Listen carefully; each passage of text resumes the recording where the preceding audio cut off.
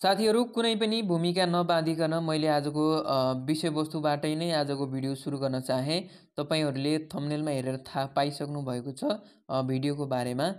र आजको पहिलो प्रश्न रहेको छ शिक्षामा महिलाहरूको समान पहुँच कार्यक्रम कसको सहयोगमा सञ्चालन भएको थियो? अप्सनहरू रहेका छन् ADB UNESCO world bank UNICEF. पक्कै पनि साथीहरू तपाईँहरूले मैले प्रश्न पढिसक्दा आफ्नो उत्तरको सही अनुमान लगाउने कोसिस गर्नुहोला र आफ्नो कपीमा टिपोट पनि गर्नुहोला र भिडियोको अन्तमा तपाईँहरूले आजको प्रश्नहरूमध्येबाट कतिवटा प्रश्नहरू मिलाउन सफल हुनुभयो त्यसको कमेन्ट हामीलाई अवश्य गर्नुहोला। भन्दै एक नम्बरको प्रश्नको सही आन्सर रहेको छ अप्सन घ अर्थात् शिक्षामा महिलाहरूको समान पहुँच कार्यक्रम चाहिँ युनिसेफको सहयोगमा सञ्चालन भएको थियो। दोस्रो प्रश्नतर्फ लागौँ साथीहरू शिक्षाको सङ्कुचित अर्थभित्र कुन पर्दछ? अर्थात् दिएको अप्सनमध्ये शिक्षाको सङ्कुचित अर्थभित्र कुन पर्दछ? अप्सनहरू रहेका छन् अनौपचारिक शिक्षा जीवन प्रयत्न शिक्षा जीवन उपयोगी ज्ञान औपचारिक शिक्षा। पक्कै पनि तपाईँहरूले आफ्नो उत्तरको टिपोट गरिसक्नु भएको छ। र यसको सही उत्तर रहेको छ अप्सन घ। पक्कै पनि साथीहरू औपचारिक शिक्षा चाहिँ शिक्षाको सङ्कुचित अर्थभित्र पर्दछ किनकि निश्चित घेरा निश्चित समय र निश्चित पाठ्यक्रममा आधारित रहेर दिइने शिक्षा चाहिँ के हो? औपचारिक शिक्षा हो। तेस्रो प्रश्न नेपालको पहिलो आधुनिक प्राविधिक शिक्षालय डडट हो। अर्थात् नेपालको पहिलो आधुनिक प्राविधिक शिक्षालय कुन हो? अप्सनहरू उत्तर पानी प्राविधिक शिक्षालय मेकानिकल प्रशिक्षण केन्द्र बालाजु प्राविधिक शिक्षालय र घमा कर्णाली प्राविधिक शिक्षालय। पक्कै पनि साथीहरू तपाईँहरूले आफ्नो उत्तरको अनुमान लगाइसक्नु भएको छ र यसको सही उत्तर रहेको छ। अप्सन घ कर्णाली प्राविधिक शिक्षालय चाहिँ नेपालको पहिलो आधुनिक शिक्षालय रहेको छ। चौथो प्रश्न सङ्घीयता कार्यान्वयन हुनुअघि पाँचवटै क्षेत्रीय शिक्षा निर्देशनालयहरूमा जम्मा कतिवटा दरबन्दी थियो? प्रश्न पुनः एकपटक। सङ्घीयता कार्यान्वयन हुनुअघि पाँचवटै क्षेत्रीय शिक्षा निर्देशनालयहरूमा जम्मा कतिवटा दरबन्दी थियो? अप्सनहरू रहेका छन् एक सय अन्ठाउन्नवटा एक सय साठीवटा एक सय त्रिचालिसवटा र एक सय बाहन्नवटा पक्कै पनि साथीहरू तपाईँहरूले आफ्नो उत्तरको टिपोट गरिसक्नु भएको छ र यसको सही उत्तर रहेको छ अप्सन क एक सय अन्ठाउन्नवटा शिक्षा निर्देशनालयमा दरबन्दी थियो कहिले भन्दा सङ्घीयता कार्यान्वयन हुनुभन्दा अगाडि। पाँचौँ प्रश्न राणाकालमा प्रशासनिक जनशक्ति उत्पादन गर्ने निकाय कुन हो अथवा कुन थियो? अप्सनहरू आधार शिक्षा स्कुल आधार शिक्षा पाठशाला श्रेष्ठ शिक्षा स्कुल श्रेष्ठ पाठशाला। पक्कै पनि साथीहरू आफ्नो उत्तरको टिपोट गरिसक्नु भएको छ र यसको सही उत्तर रहेको छ अप्सन घ श्रेष्ठ पाठशाला चाहिँ राणाकालमा प्रशासनिक जनशक्ति उत्पादन गर्ने निकायको रूपमा रहेको थियो। छैटौँ प्रश्न दरबार स्कुलमा कुन कुन विषय पढाउन प्रतिबन्ध लगाइएको थियो? दरबार स्कुलमा कुन कुन विषय पढाउन चाहिँ प्रतिबन्ध लगाइएको थियो? अप्सनहरू इतिहास र अर्थशास्त्र भूगोल र संस्कृति भूगोल र इतिहास इतिहास र संस्कृति। पक्कै पनि साथीहरू तपाईँहरूले आफ्नो उत्तरको टिपोट गरिसक्नु भएको छ र यसको सही उत्तर रहेको छ। अप्सन ग भूगोल र इतिहास। दरबार स्कुलमा चाहिँ भूगोल र इतिहास पढ्न पढाउनमा चाहिँ प्रतिबन्ध लगाइएको थियो। किनकि भूगोल र इतिहास पढ्यो भने जनताहरू धेरै बाठा हुन्छन् र पछि हाम्रो शासन नै अन्त्य हुनसक्छ भन्ने राणाहरूको उनीहरूको अभिप्राय थियो। यसकारण चाहिँ दरबार स्कुलमा उनीहरूले भूगोल र इतिहास विषय पढाउन चाहिँ प्रतिबन्ध लगाएका थिए। सातौँ प्रश्न पुस्तकालय पर्व कसको पालामा भएको थियो? पुस्तकालय पर्व कसको पालामा भएको हो? अर्थात् भएको थियो। अप्सनहरू रहेका छन् जुद्ध शमशेर भीम शमशेर मोहन शमशेर चन्द्र शमशेर। पक्कै पनि साथीहरू तपाईँहरूले आफ्नो उत्तरको टिपोट गरिसक्नु भएको छ र यसको सही उत्तर रहेको छ अप्सन ख। अर्थात् भीम शमशेर। पुस्तकालय पर्व चाहिँ भीम शमशेरको पालामा भएको अर्थात् घटेको पर्व थियो। आठौँ प्रश्न नेपालमा पहिलो शिक्षा नियमावली कहिले प्रकाशित भएको थियो? नेपालमा पहिलो शिक्षा नियमावली कहिले प्रकाशित भएको थियो? अप्सनहरू विक्रम सम्मत दुई हजार उन्नाइस साल विक्रम सम्मत दुई हजार तेइस साल विक्रम सम्मत दुई हजार उनासाठी साल र विक्रम सम्मत दुई हजार अठाइस सालमा। पक्कै पनि साथीहरू तपाईँहरूले आफ्नो उत्तरको टिपोट गरिसक्नु भएको छ। र यसको सही उत्तर रहेको छ विक्रम सम्मत दुई हजार तेइस सालमा चाहिँ नेपालमा पहिलो शिक्षा नियमावली प्रकाशित भएको थियो। नौ प्रश्नतर्फ लागौँ साथीहरू नेपालमा शिक्षक तालिमको सुरुवात कहिलेदेखि भएको थियो? नेपालमा शिक्षक तालिमको सुरुवात कहिलेदेखि भएको थियो? अप्सनहरू विक्रम सम्मत दुई हजार तेह्र सालमा विक्रम सम्मत दुई हजार चार सालमा विक्रम सम्मत दुई हजार अठाइस सालमा र विक्रम सम्मत दुई हजार सोह्र सालमा। पक्कै पनि साथीहरू तपाईँहरूले आफ्नो उत्तरको टिपोट गरिसक्नु भएको छ होला। र यसको सही उत्तर रहेको छ अप्सन क।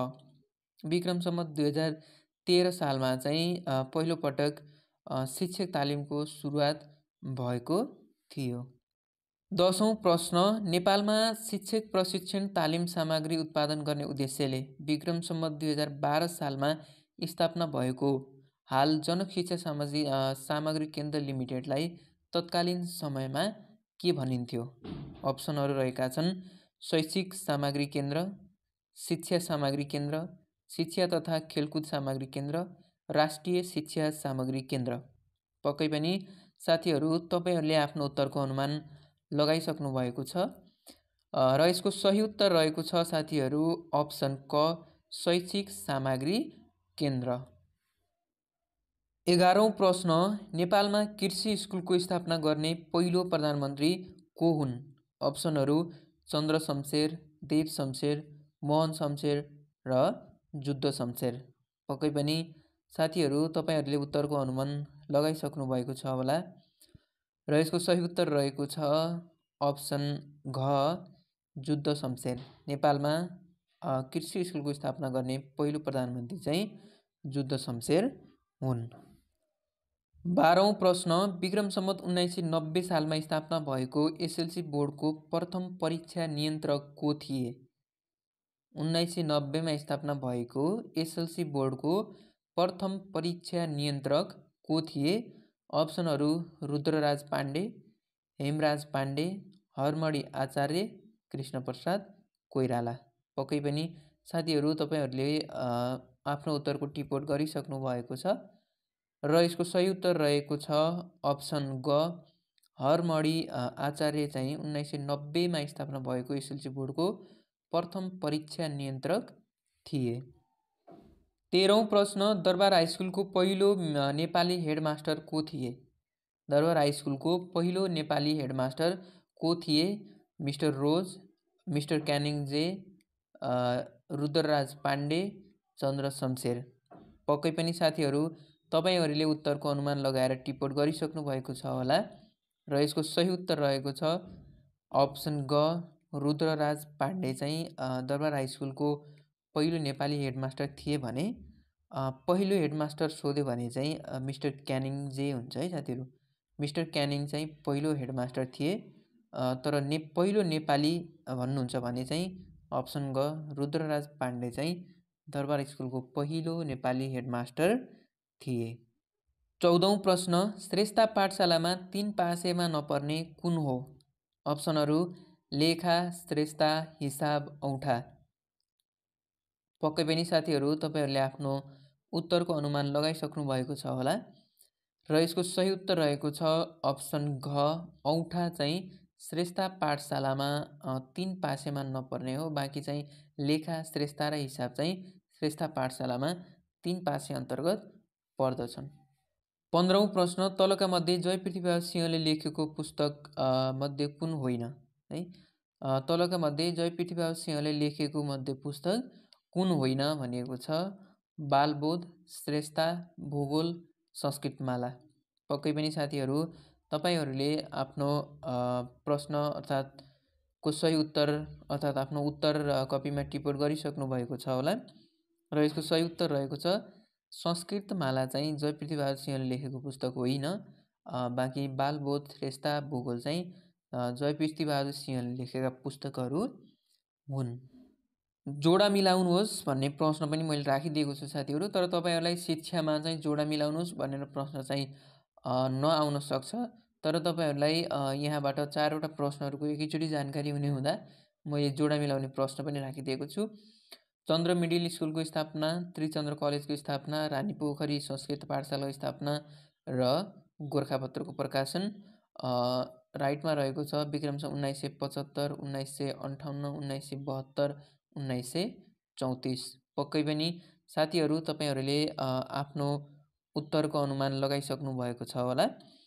र यसको सही उत्तर रहेको छ अप्सन ग अर्थात् अप्सन तिन। अप्सनलाई हेरौँ साथीहरू क सी भनेको छ। चन्द्र मिडिल स्कुलको स्थापना उन्नाइस सय बहत्तर। त्यस्तै खको ए भनिएको छ। त्रिचन्द्र कलेजको स्थापना चाहिँ उन्नाइस सय पचहत्तर। ग डी रानी पोखरी संस्कृत पाठशाला चाहिँ उन्नाइस सय चौतिस। र घ बी गोर्खापत्र प्रकाशन चाहिँ उन्नाइस सय अन्ठाउन्नमा भएको सत्रौँ प्रश्न जयपृथ्वीबहादुर सिंहले आफू नक्सालमा बस्दा आफ्नो दरबारभित्र एउटा पाठशाला खोलेका थिए। उक्त पाठशालाको नाम के थियो? जयपृथ्वीबहादुर सिंहले नक्सालमा बस्दा चाहिँ आफ्नो दरबारभित्रै खोलेको पाठशालाको नाम के थियो भनिएको छ? अप्सनहरू श्रेष्ठा पाठशाला सत्यवादी पाठशाला संस्कृत पाठशाला भाषा पाठशाला। पक्कै पनि साथीहरू तपाईँहरूले आफ्नो सही उत्तर अथवा आफ्नो उत्तर अनुमान गरिसक्नु भएको छ र यसको सही उत्तर रहेको छ अप्सन ख। सत्यवादी पाठशाला चाहिँ बहादुर सिंहले नक्सालमा बस्दाखेरिमा चाहिँ आफ्नो दरबारभित्रै खोलेको पाठशाला थियो। अठारौँ प्रश्न शिक्षाको सङ्कुचित अर्थ तलका मध्ये कुन होइन? है शिक्षाको सङ्कुचित अर्थ तलका मध्ये कुन होइन भनिएको छ? विद्यालयको घेराभित्र दिइने प्रमाणपत्रमुखी शिक्षा टी रेमनका अनुसार पुस्तकीय ज्ञान औपचारिक शिक्षा जीवन प्रयत्न शिक्षा।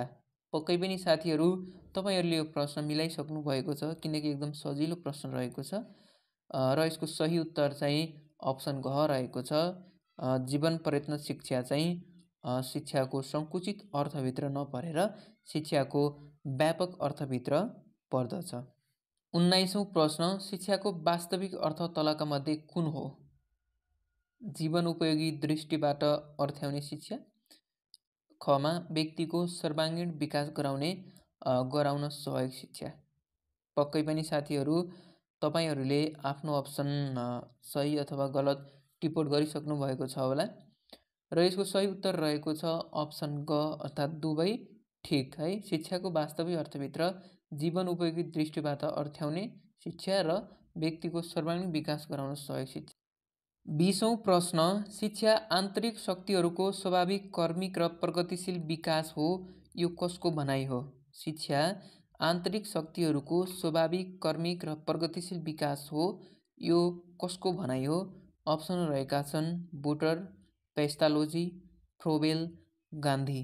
पक्कै पनि साथीहरू तपाईँहरूले आफ्नो उत्तरको टिपोट गरिसक्नु भएको छ। र यसको सही उत्तर रहेको छ साथीहरू अप्सन ख पेस्तालोजी है। एक्काइसौँ प्रश्न एजुकेसनको अर्थ कुन हो? व्यक्तिगत विकास। व्यक्तिलाई सबै क्षेत्रमा अगुवाई गर्न सक्ने बनाउनु। व्यक्तिको भित्री शक्तिको विकास। र अप्सन घ अन्तर्निहित शक्तिलाई शिक्षण कार्यद्वारा बाहिर ल्याउने कार्य अथवा बाहिर गराउने कार्य। पक्कै पनि साथीहरू तपाईँहरूले यसको उत्तर अनुमान लगाइसक्नु भएको छ र सही उत्तर रहेको छ। अप्सन घ अन्तर्निहित शक्तिलाई शिक्षण कार्यद्वारा बाहिर ल्याउने अथवा बाहिर गराउने कार्यलाई चाहिँ एजुकेसनको अर्थ मानिन्छ। बाइसौँ प्रश्न शिक्षाको सामाजिक लक्ष्य दिएका मध्ये कुन हो? अप्सनहरू रहेका छन् नेतृत्व विकास आम अभिव्यक्ति पूर्ण जीवनयापन नयाँ ज्ञानको निर्माण। पक्कै पनि साथीहरू तपाईँहरूले आफ्नो उत्तरको अनुमान लगाइसक्नु भएको छ होला। र यसको सही उत्तर रहेको छ अप्सन घ नयाँ ज्ञानको निर्माण चाहिँ शिक्षाको सामाजिक लक्ष्य अन्तर्गत पर्दछ। तेइसौँ प्रश्न औपचारिक शिक्षासँग कुन कुरा मेल खाँदैन? है दिएका मध्ये औपचारिक शिक्षासँग कुन कुरा मेल खाँदैन? प्रमाणपत्रमुखी शिक्षा पुस्तकीय शिक्षा स्वतन्त्र शिक्षा पास फेलको सिद्धान्तमा आधारित शिक्षा। पक्कै पनि साथीहरू यसमा पनि तपाईँहरू कन्फ्युज सायद पक्कै पनि हुनुभएको छैन होला। सबैले मिलाइसक्नु भएको छ र यसको सही उत्तर रहेको छ अप्सन ग। स्वतन्त्र शिक्षा चाहिँ शिक्षाको औपचारिक शिक्षाभित्र पर्दैन। चौबिसौँ प्रश्न थ्री आरएसमा नपर्ने तलका मध्ये कुन हो? है थ्री आरएसमा नपर्ने तलका मध्ये कुन हो? अप्सन रहेका छन्। Reading writing arithmetic responsibility. पक्कै पनि साथीहरू तपाईँहरूले आफ्नो उत्तरको अनुमान लगाइसक्नु भएको छ होला र यसको सही उत्तर रहेको छ। अर्थात् थ्री आरएसमा दिएका मध्ये चाहिँ अप्सन घ रेस्पोन्सिबिलिटी चाहिँ पर्दैन। पच्चिसौँ प्रश्न जोन ब्रुबाकर हुने ठाउँमा अलिकति मिस्टेक भएको रहेछ। अथवा ब्रुबाकर अनुसार सामाजिक अथवा समाजमा शिक्षाका कार्य दिएका मध्ये कुन होइन है? ब्रुबाकरका अनुसार शिक्षाका कार्य मध्ये कुन होइन? अर्थात् समाजमा शिक्षाका कार्य मध्ये कुन होइन भनिएको छ? अप्सनहरू रहेका छन् सङ्गठनात्मक कार्य प्रगतिशील कार्य तटस्थ कार्य र सांस्कृतिक कार्य। पक्कै पनि साथीहरू तपाईँहरूले आफ्नो उत्तरको अनुमान लगाइसक्नु भएको छ र यसको सही उत्तर रहेको छ। अप्सन घ सांस्कृतिक कार्य चाहिँ जोन ब्रुबाकरका अनुसार समाजमा शिक्षाका कार्य अन्तर्गत पर्दैन। प्रमाणपत्र रोगबाट मुक्त सही शिक्षा नै अनौपचारिक शिक्षा हो यो भनाइ कसको हो? अप्सनहरू रहेका छन् इलिच र फ्रेरे रोनाल्ड डोर कुम्बस र मन्सुर वार्ड र डेल्टन। पक्कै पनि साथीहरू तपाईँहरूले आफ्नो उत्तरको टिपोट गरिसक्नु भएको छ होला। र यसको सही उत्तर रहेको छ अप्सन ख। रोनाल्ड डोरले चाहिँ प्रमाण पत्र रोगबाट मुक्त सही शिक्षा नै अनौपचारिक शिक्षा हो भनेर शिक्षालाई परिभाषित गरेका। सत्ताइसौँ प्रश्न एजुकेसन शब्द लेटिन भाषाको एडुकेटमबाट आएको मानिन्छ। यसअनुसार एडुकेटमको अर्थ देहाएका मध्ये कुन हो? एजुकेसन शब्द लेटिन भाषाको एडुकेटमबाट आएको मानिन्छ। यसअनुसार एडुकेटमको अर्थ देहाएका मध्ये कुन हो? अप्सनहरू act of teaching learning to lead out to educate पक्कै पनि साथीहरू तपाईँहरूले आफ्नो अप्सन पक्कै पनि टिपोट गरिसक्नु भएको छ उत्तरको टिपोट गरिसक्नु भएको छ र यसको सही उत्तर रहेको छ। अप्सन क एक्ट अफ टिचिङ है। एडुकेटमको अर्थ चाहिँ एक्ट अफ टिचिङ भन्ने हुन्छ।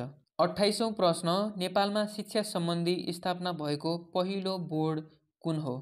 नेपालमा शिक्षा सम्बन्धी स्थापना भएको पहिलो बोर्ड कुन हो? अप्सनहरू रहेका छन्। विक्रमसम्म उन्नाइस सय त्रियानब्बेमा गठित बाइस सदस्यीय शिक्षा बोर्ड। अप्सन ख विक्रमसम्म उन्नाइस सय चौरानब्बेमा गठित पच्चिस सदस्यीय शिक्षा बोर्ड। विक्रमसम्म दुई हजार नौमा गठित बिस सदस्यीय शिक्षा बोर्ड र विक्रम सम्मत दुई हजार दसमा गठित छयालिस सदस्यीय शिक्षा बोर्ड। पक्कै पनि साथीहरू तपाईँहरूले आफ्नो उत्तरको टिपोट गरिसक्नु भएको छ भन्ने म आशा गर्दछु। र यसको सही उत्तर रहेको छ अप्सन क। नेपालमा शिक्षा सम्बन्धी स्थापना भएको पहिलो बोर्ड चाहिँ विक्रम सम्मत उन्नाइस सय त्रियानब्बेमा गठित बाइस सदस्यीय शिक्षा बोर्ड रहेको छ। उन्तिसौँ प्रश्न देहाएका मध्ये कुनले कक्षा एकदेखि आठसम्मलाई आधारभूत तह हुने भनेर कसले उल्लेख गरेको थियो? देहाएका मध्ये कक्षा एट एक आठ कक्षालाई आधारभूत तह हुने भनेर उल्लेख गरेको थियो। अप्सनहरू विद्यालय क्षेत्र विकास योजनाले विद्यालय सुधार सरी विद्यालय क्षेत्र सुधार योजनाले त्यस्तै शिक्षा ऐन दुई हजार आठौँ संशोधनले र घ सबैका लागि शिक्षा कार्यक्रम दुई हजार चारदेखि नौले।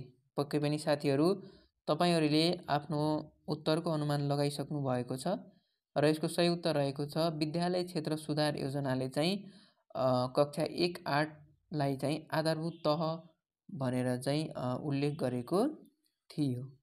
तिसौँ प्रश्न औपचारिक शिक्षा तहगत रूपमा संरचना गरिएको र कार्यक्रम अनुसार श्रेणीबद्ध गरिएको शैक्षिक पद्धति हो।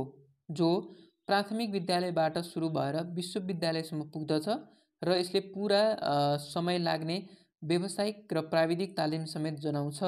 यो भनाइ कसको हो? अप्सनहरू डिबे कुम्बस टोडारो फ्रेरे। पक्कै पनि साथीहरू तपाईँहरूले आफ्नो उत्तरको अनुमान लगाइसक्नु भएको छ र यसको सही उत्तर रहेको छ अप्सन ख कुम्बसले उक्त परिभाषा गरेका थिए।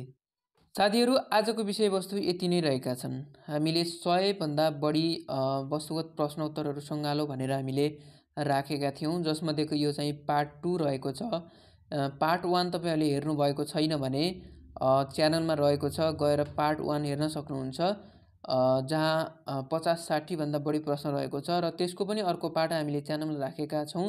त्यसमा पनि सायद पचासभन्दा बढी प्रश्नहरू शिक्षा सम्बन्धी रहेको छ।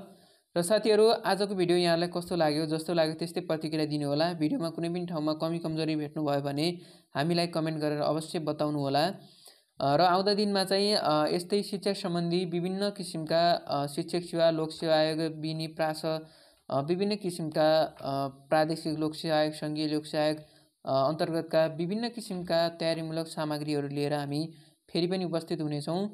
तबसम्मको लागि आजको भिडियोबाट हामी बिदा चाहन्छौँ। हस्त नमस्कार।